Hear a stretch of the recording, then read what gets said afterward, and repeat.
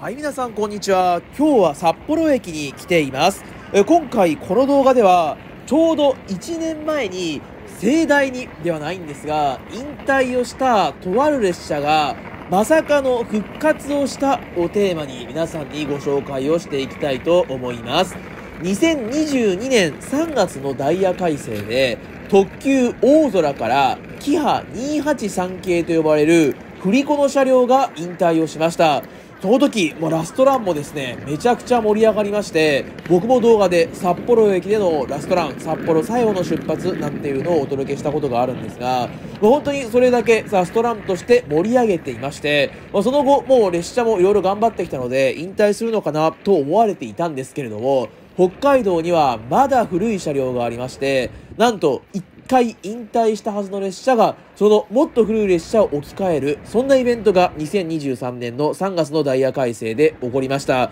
今日はそんな1年間お休みをしていた列車のまさかの復活、その復活の様子を皆さんにお届けしてみたいと思います。では今回もよろしくお願いします。ということで札幌駅の改札にやってまいりましたご覧ください今回のテーマはオホーツク3号です自由席3号車指定席1号車2号車と書かれていてオホーツクや大雪、まつまりは網走に向かう特急列車がテーマなんですけれどもグリーン車があったはずなんですがグリーン車が消えていて両数も3両とめちゃめちゃ短いよっていうのにお気づきいただければと思います。網走まで正直日本で2番目に長い自動車特急レベルの時間がかかるわけなんですがグリーン車が消えてしまいましてこのようにオホーツク1号車指定席と書かれているんですけれども何かが変わっておりますでは早速、まあ、引退した列車その列車が札幌にやってまいりますので皆さんご覧くださいはい、という号で奥側からやってきた青色のお顔に高い運転台そう今283系ですオードラとして確かに1年前に引退したはずの列車が再び札幌に戻ってまいりましたただ両数はこのように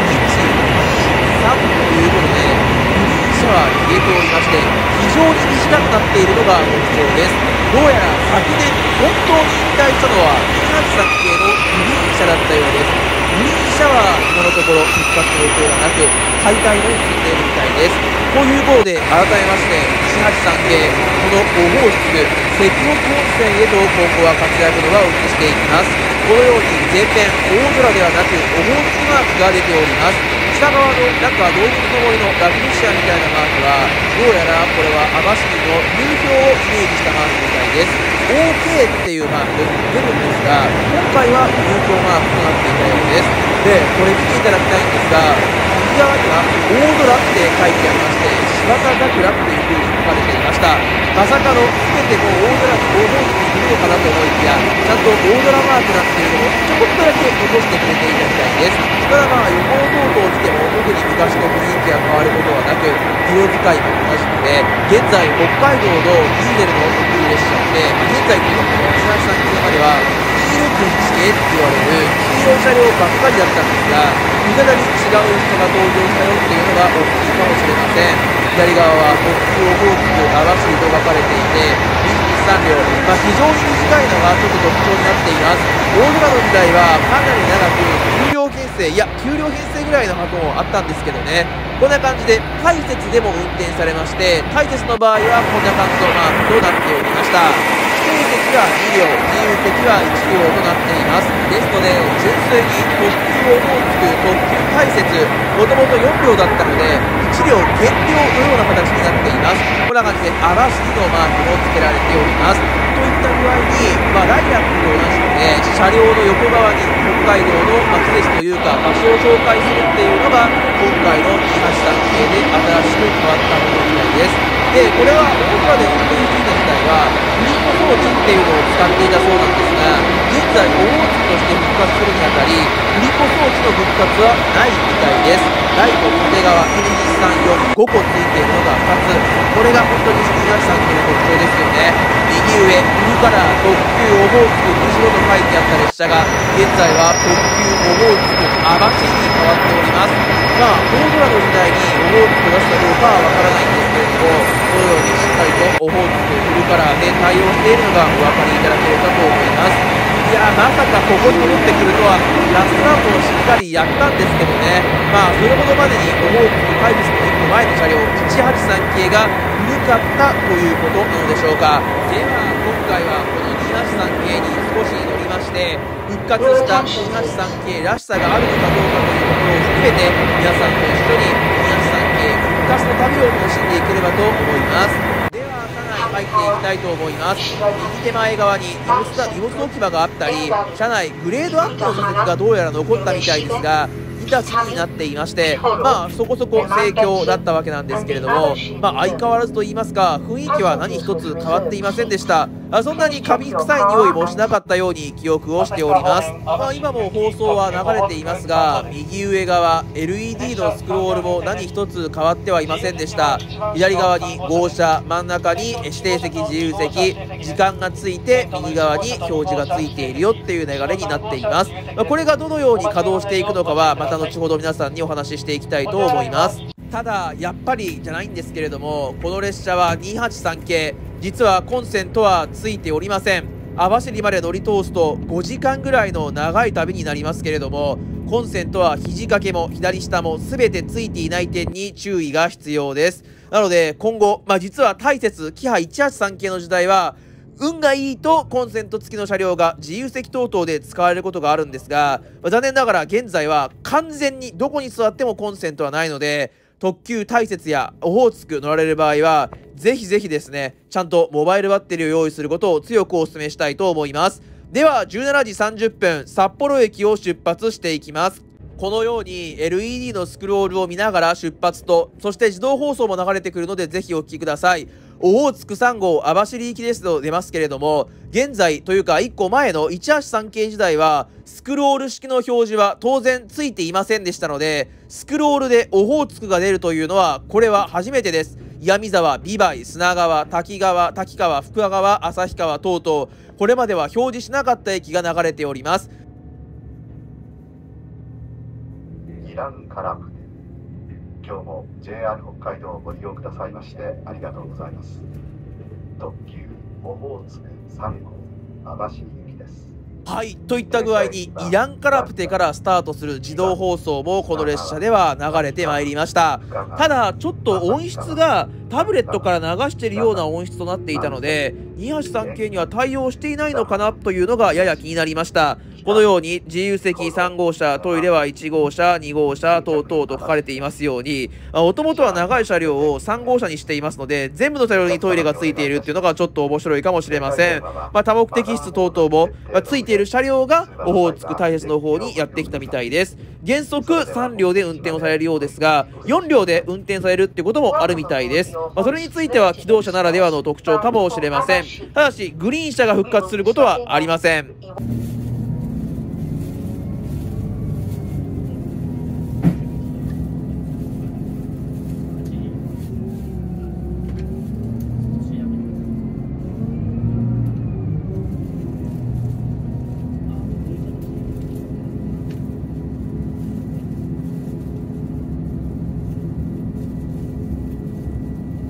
いといった具合にちょっと2つのカメラを持っていたので今は自動放送を流したんですが出発の際の音も聞いていただきました。久しぶりに聞く方も多いのではないでしょうか。このうなるような頑張るようなこのディーゼルエンジンこれがまさに戻ってきたという号でなかなか感無量ですよね。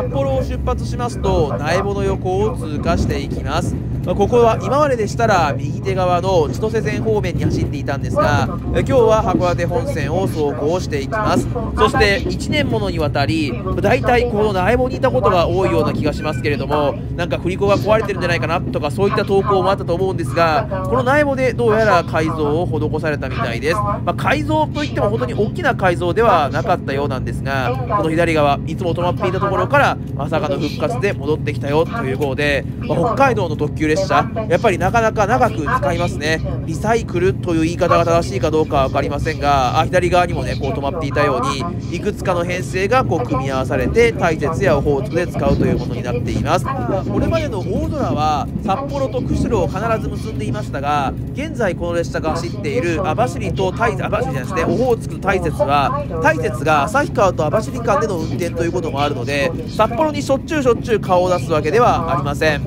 话时，请前往车厢之间的连接走道。そして平和を越えたあたりで千歳線と函館本線並走していた区間でいよいよお別れとなりますこれまでは南千歳方面に走っていきまして釧路の方まで走っていたんですが今回からは左側に行くという号で実はダイヤ改正前のキハ183系のオホーツクを動画にさせていただいたことがあるんですがその時は右側の方に走っていく大空をご紹介しましたので何と言ったらいいんでしょうか。ちょっと世代交代を象徴するような分岐となりました。そして列車の車内表記なんですがこのように次は岩見沢と出てきまして岩見沢まではあと何キロみたいな表記となっています。まあ283系と言いますと283系イラストが登場して次の駅までこのどこら辺にいるかなみたいなのを紹介するっていうのがあったんですがどうやらそうではなくって北海道標準のあと何キロっていうようなそんなスクロールとなっていたようです。で列車の速度ですけれども一応120キロは出していいとのことなんですがだいたい100キロぐらいでの走行となっています。実はオホーツク時代と旭川までは到達時分は変わらないみたいです。ただ旭川網走間は183系の列車よりもまあ、23分早く到達をすることができるようになったんですって、まあ、ただそれについてはですねこの列車振り子は使ってはないんですけれども、まあ、どうして速くなったのかなっていうのは多分加速の能力とかよるのでしょうか、まあ、だと思うんですが、まあ、少なくともですね34分早くなっていますのでよかったらそこは時刻表をにらめっこしてみてください。はい、ということで列車は札幌に続きまして岩見沢に到着をしました。やはり旭川まではライラックやカムイとともにまビジネス需要っていうのも結構ありますので旭川までは結構この列車を利用される方も多いような印象です。まあカムイとかの方が5両編成とかっていうことを考えますとこの列車は3両となりますのでまあこの列車の方が当然来たら早いっちゃ早いんですけれどもそこについての混雑は特に自由席ですと確保しなきゃいけないかなと思ったのも今回の列車でございます。そして列車は岩見沢に続きまして美唄に到着です。岩井もオホーツクですがしっかりと停車をしていきます。まあ、この283系が美唄にやってくるのもこのダイヤ改正からとなっています。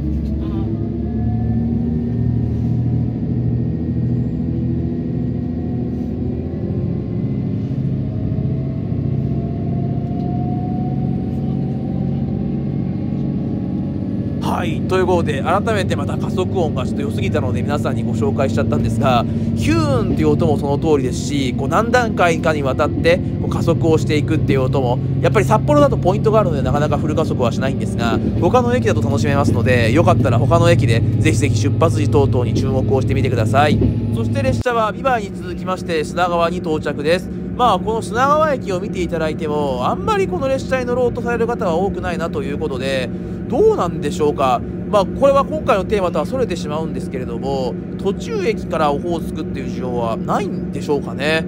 実のことを言うと札幌から出るライラックカムイオホーツク宗谷はまあ、岩見沢、美唄、砂川、滝川、深川という風に止まっていくんですが逆向きの場合は実はオホーツクと宗谷って途中の美唄と砂川は通過する列車もありましてまあ逆向きは通過だけどこっちは停車みたいなちょっと分かんない状態ではあるんですけれども、まあ、そういった具合にこの2駅っていうのはあまりオホーツク系では利用者数が少ないのかもしれませんもしこの砂川と美唄を通過するっていう理由が分かる方いらっしゃいましたらぜひコメントくださいはい。というわけで、まだまだしばらく走っていきまして、続いては砂、滝川に到着です。ややこしいですね。砂川、滝川、深川ということで、川三連チャンなんですけれども、真ん中は滝川のようでございます。まあここからは富良野方面へと乗り換えをすることが可能です。富良野ラベンダーエクスプレスっていうのも走ってるんですが、その時はでも283系が来たことはないでしょうかね。あちょうど左側にはディーゼルカーキハ40も停車をしていました。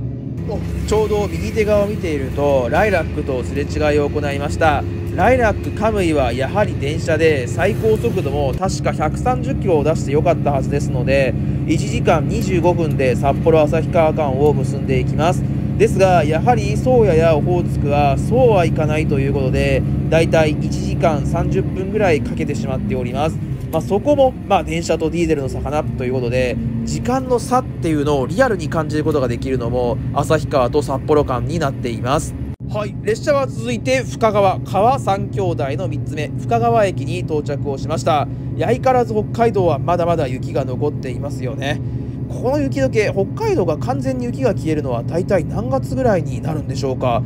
うん。でこの駅ではちょっと乗られる方もいらっしゃいましてまあそういう風に見るともちろん0人ではないっていうだけはあるかもしれないんですがやはり砂川美唄と比べて滝川深川辺りっていうのは人が乗るんだなっていうのも実感できたかと思います。実際こんな感じで少しホームを見ていただきますと出発寸前には自由席側から複数名の方がこの列車を降りてこられておりましたので、まそういったビジネス需要も含めてあるんだなっていう感じです。ちなみにですけれどもオホーツク3号が5時30分に出発すると次の特急は6時のカムイ33号までありませんのでまあ、基本的にライラックやカムイは1時間ないし30分間隔で走っているんですがまさにその合間にボコンとはまっているのが実はオホーツクですから、まあ、やっぱり札幌から早く帰りたい方からすれば、まあ、このオホーツク号を使うってことになるなのかなと思います。こんな感じで車内を見てみますと指定席ですけれども最初は結構混んでいたんですが途中からは徐々に徐々に人が減りましてまあ途中の滝川ぐらいからは全然窓側も余裕で座れるようになっております。でまあやっぱりなんかこれ不思議だったのがやっぱりこうディーゼルカーというか2839の特徴からかは分かりませんけれども何回もこうなんかギュインギュインギュインといった具合にこう入れたり消したり入れたり消したりっていうのがより響くような感じがしましたやっぱりこう183系とは全然違うなっていう、まあ、だからこそ時間を早くすることができるのかもしれませんけれども、まあ、やっぱり違うというか、まあ、逆にまだまだこのエンジンも現役なんだぞっていうのが分かって嬉しい瞬間でしたね。上川に停まりますはい、といった具合にまもなく列車は旭川に到着をするんですけれども旭川から先関尾本線へと列車は入ってまいりますので上川の駅名も流れてまいりました。え今回は僕はこの列車は上川まで乗車をしてみたいと思います、まあ、せっかく関北本線へと入っていきましたので、まあ、なかなかちょっと網走まで行ってしまうと大変なので、まあ、ちょっとね今回は上川ぐらい実はですね上川駅も含めて関北本線もむしろ列車よりもこちらの方の改造が大変だったんじゃないかなっていった具合の改造実は関尾本線の駅に施していますのでそちらもご紹介していきたいと思います。はいということで列車は旭川までやってまいりました。高架に上がりまして旭川です。いやまさか帯広だけではなくってまさかの旭川にこの列車で来ることができるとはと思ったんですけれども旭川の到着は現役当初の183系現役当初と変わらず19時5分。え札幌からは1時間と35分で到着です。列車が変わったんですけれどもやっぱりカムイ等々とは10分ぐらい差がついています。また左側に止まっています H100 新しい機動車に旭川付近では変わっているっていうのもまた一つのトピックかもしれません。こんな感じで旭川の高架と階段の横の木とオホーツク283系との組み合わせがすごく違和感がますよね。でこんな感じなんですけれども旭川では道民交代が行われまして国川崎の長旅に備えるよというそういったタイミングとなっております。はい。では旭川駅3分ほど停車をしまして19時8分に旭川から出発をしていきます。ここを出ますといよいよ真打である関北本線へとこの列車は走ってまいります、まあ、そんな分岐なんていうのもこの後皆さんにはご紹介をしてみたいと思います。はい。そういうわけで列車なんですけれども新旭川駅までは宗谷本線稚内方面と同じ線路を走行しまして新旭川駅を出ますといよいよ関北本線と宗谷本線が分かれてまいります。まあ、もちろん宗谷本線であったとしても関尾本線であったとしてもどちらだったとしても新橋3系にとっては初めての列車ではありましてまたちょっとね暗くてなかなか見にくかったかなっていう部分ではあるんですけれども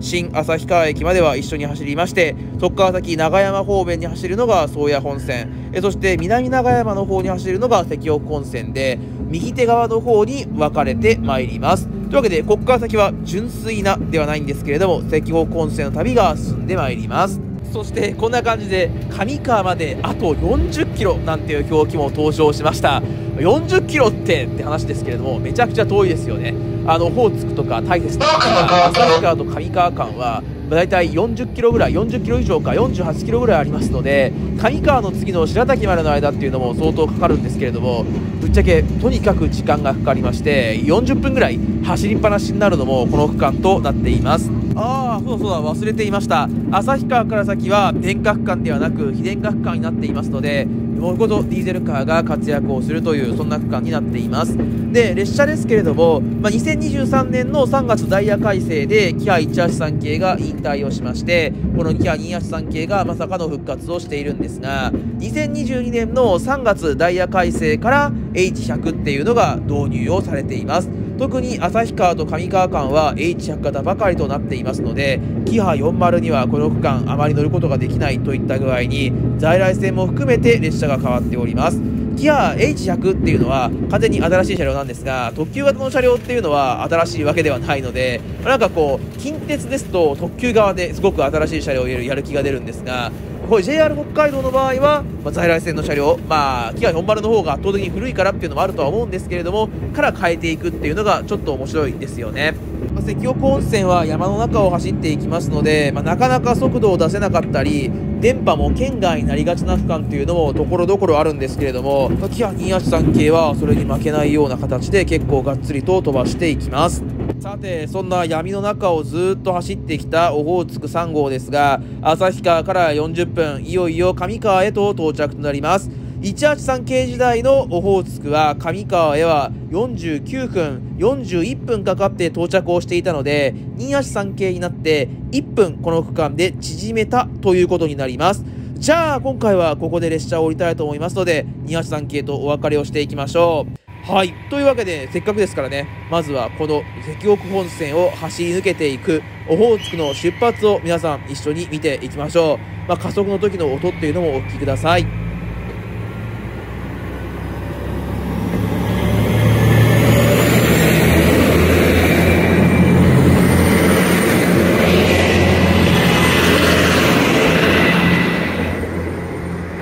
はいといった具合にとにかくエンジンの音が力強いですよね。多分ここまでもエンジンの音でなかなか声が拾いにくい部分あったかもしれませんけれども、あの後付けでもですね、これだけのエンジンの音量という具合で、僕もあの声を後でつけて結構大きい声で喋ったつもりなんですが、ちょっと聞きにくいところがあったかもしれません。すいません。そして関北本線で変わったポイント、要は283系のために変えたポイントがこれです。わかりますか？ホームがちょっとせり上がっているのがお分かりいただけますでしょうか？どうやら183系と283系ではホームの高さじゃなくてですね列車とホームの高さの段差っていうのがやや違うらしく283系で、まあ、その段差を少しだけ緩和しようということで関奥本線の特急停車駅っていうのは少し段差を上げて、要はコンクリートでこうせき固めて、列車との段差を、まあ、それでも気になるんですけれども、少し上げてみようっていうことが行われたんですって。